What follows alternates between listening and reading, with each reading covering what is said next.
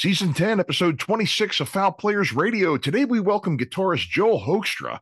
We spoke with Joel right before he left for Europe with Brandon Gibbs on the Hoekstra Gibbs tour, and he told us all about his new album, Joel Hoekstra's 13 Crash of Life. We also discussed what it's like being in the routine of doing eight shows a week during the TSO tour, working with Whitesnake, working with Cher, and so much, much more. Links to Joel's website and social media can be found in the show notes.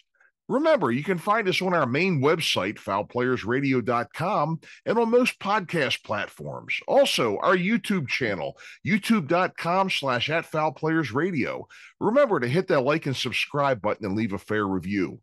The holidays are coming. Please consider supporting our guests by patronizing their endeavors. Links to their books, music, show tickets, and everything else can be found in each episode's show notes.